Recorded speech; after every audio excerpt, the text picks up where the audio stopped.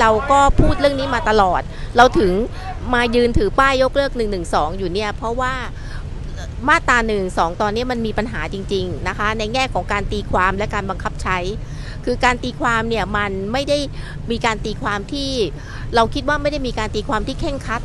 ตามบทกฎหมาย แต่มีการตีความแบบขยายความไปเรื่อยๆ จนกระทั่งเราไม่รู้ว่าขอบเขตมันอยู่ตรงไหนนะคะ แล้วก็ในการบังคับใช้ก็อย่างที่เรารู้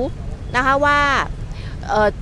มันมีการบังคับใช้ที่ที่ที่มันค่อนข้างมีปัญหาพอสมควรนะคะ ทั้งกับตัวบุคคลที่โดนคดีนี้ แล้วก็รวมไปถึงพรรคการเมืองที่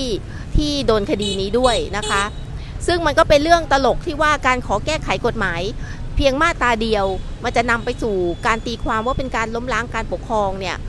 มันเป็นเรื่องที่มันไม่ไม่เคยเกิดขึ้นมาก่อนในโลกมันคิดว่าน่าจะเป็นที่เดียวในประเทศในของโลกเนี่ยนะคะหรือในประวัติศาสตร์ที่ผ่านมา คือตอนนี้เราก็ยังนึกไม่ออกนะคะว่าจะต้องยืนไปนานแค่ไหน เพียงแต่ว่าเราก็ไม่อยากจะทิ้งเพื่อนในเรือนจำให้เขาคิดว่าเขาถูกลืมอยากเป็นกำลังใจให้เขาในขณะเดียวกัน เรายังต้องการสื่อสารกับสังคมข้างนอก ว่าเอออย่าลืมนะ มันมี นักโทษการเมืองอยู่ในประเทศของเรา เราต้องมีคนยืนยันสิ่งที่มันไม่เป็นธรรมแหละ แต่ผมก็ยังเชื่อว่าเรามีความหวังนะ มันมันมันอาจจะบอกไม่ได้ว่าวันนี้พรุ่งนี้แต่ว่า ผมว่าอนาคตมีความหวังเอ่อความไม่เป็นธรรม